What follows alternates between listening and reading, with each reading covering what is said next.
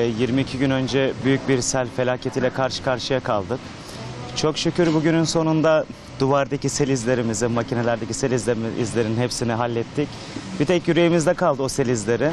Çok şükür elemanlarımız da bugün Bismillah dediler. Her şeyimiz tam takım, eksiğimiz yok. Bazı şeylerimiz ufak tefek olsa da onları da zaten hepsini zamanla tamamlayıp inşallah daha da güzel yerlere gelmeye devam edeceğiz. Evet, şu an itibariyle 45 kişiyle işimize başladık. İlerleyen zamanda tabii ki e, evde kalan arkadaşlarımız da var. Onları da devam ettireceğiz. Bir 10-12 gi- e, 12 gün süreç içerisinde bütün elemanlarımızla kaldığımız yerden devam edeceğiz.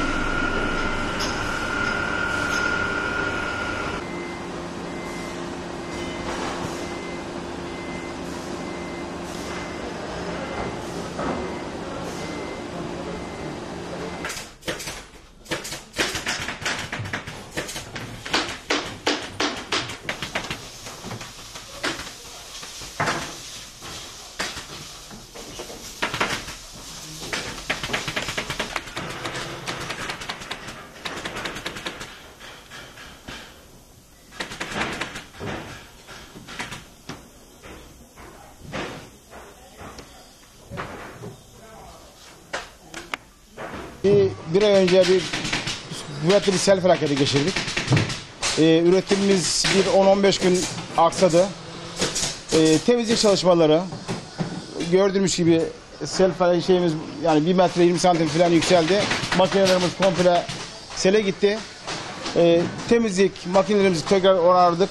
Şimdi yeniden üretime başladık Allah'ın izniyle. Çok büyük tabii kaybımız var. Suntalarımız, keçelerimiz, süngerlerimiz çok e, zararımız var yani.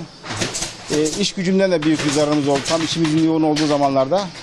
Ama Allah'a şükür yine yavaş yavaş başladık üretimimize. E, devam ediyoruz.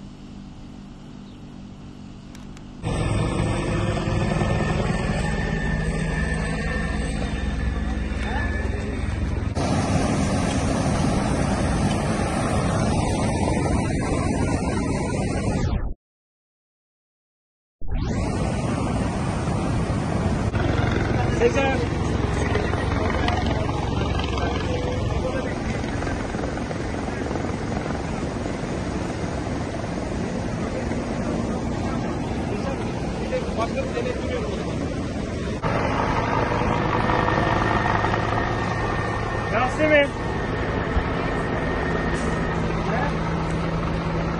Kontrol şu an